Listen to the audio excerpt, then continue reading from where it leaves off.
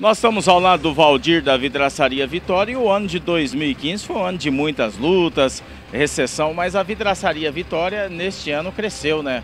Mudou de endereço, está num local mais amplo, mais moderno e sempre atendendo bem a sua clientela. É, esse ano a gente foi um ano que essa crise aí foi meio fraco, né? Chegou agora no final do ano aí, deu uma apurada de serviço, graças a Deus. Mas graças a Deus a gente vai lutando aí para levar. E questão do da firma, a gente ampliou a firma para atender os nossos clientes melhor, né? Para ter uma visão assim para eles ver que a gente tem um bom serviço aí para poder atender eles. E estamos aí, se Deus quiser, ano que vem, deve ser melhor um pouquinho mais que esse. E o investimento no esporte também é grande, né? Muitas parcerias. É, questão do esporte a gente gosta bastante, né? Do futebol aí, né?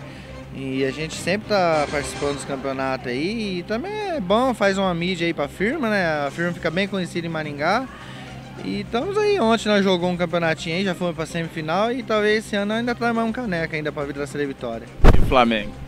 Flamengo? Flamengo tá, tá ruim demais, hein? Se, jo se, se jogar o ano que vem igual tá jogando esse ano, vai pro mesmo caminho do Vasco. Tá certo. Para 2016, a Vidraçaria Vitória vai fazer alguma parceria pro Campeonato Amador?